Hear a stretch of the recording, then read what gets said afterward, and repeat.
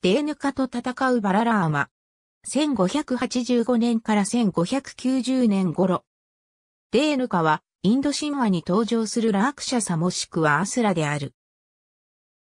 バーガバタプラーナによると、デーヌカはロバの姿をしており、バララーマによって退治されたと伝えられている。クリシュナとバララーマが少年時代を過ごしたゴークラの近くには、ヤシの生い茂る大きな森があり、その場所はいつも多くの果実で溢れていた。デーヌカはその果実を守り、さらにたくさんのロバがデーヌカを取り囲んで守っていた。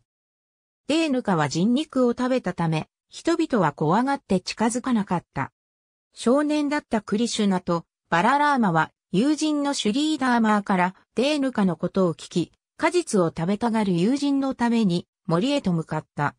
彼らが森にやってきて、木々の枝から果実を落としていくと、デーヌカは激しく怒り、後足でバララーマを激しく蹴り上げた。